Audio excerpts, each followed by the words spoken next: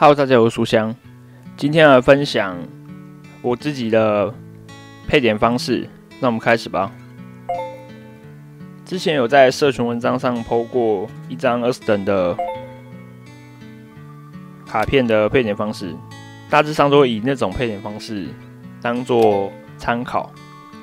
然后我的配点方式大概是两个能力值点十七，两个能力值点十五。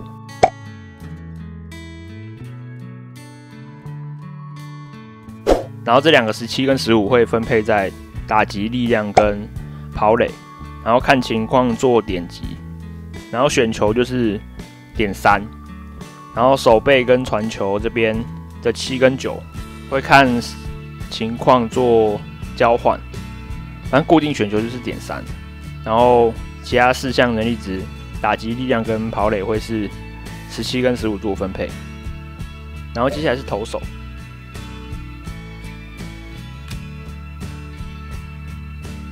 因为到二十等之后，等级也不会上升了，所以也不会拿到点数了，所以会在二十等的时候把所有的点数都配完，所以这边持有成长点数会尽量让它是零。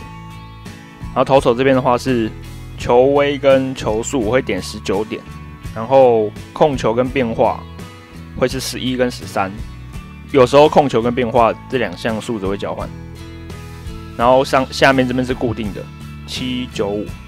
因为恢复主要是用在季赛，但是季赛有一个体力恢复剂可以用，所以恢复这一点就点的比较少一点。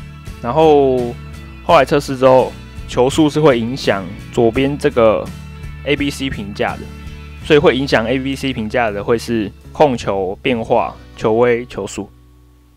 所以我点法大致上是这个样子，给大家做参考。那今天的分享就到这边结束了。